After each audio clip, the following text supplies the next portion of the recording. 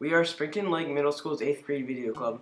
We usually produce school videos highlighting important events in the community.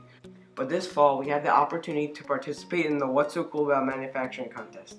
Because of this, we had the amazing opportunity to visit a worldwide manufacturing business, Southco. We were able to see manufacturing in a totally different way.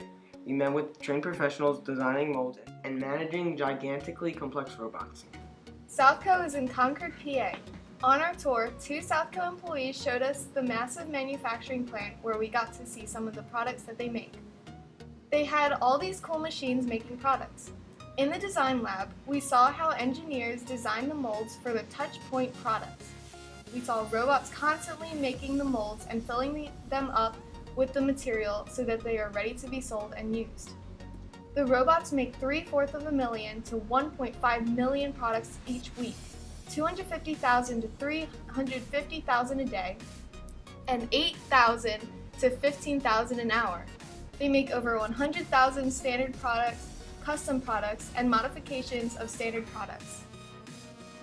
Southco is an accomplished company that designs and creates latches and rivets and everything in between. They have factories in Europe, America, Australia, and Asia. Southco employs experts that design mechanisms with plastic and metal. They take the plastic and inject it at super high temperatures so they can mold it and make copies.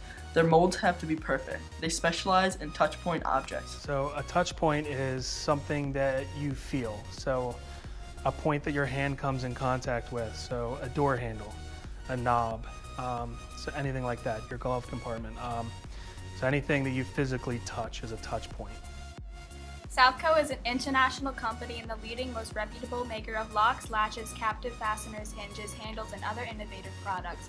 With hundreds of employees and thousands of sales each all over the world, Southco contributes not only to the economy of the U.S., but also to the global economy.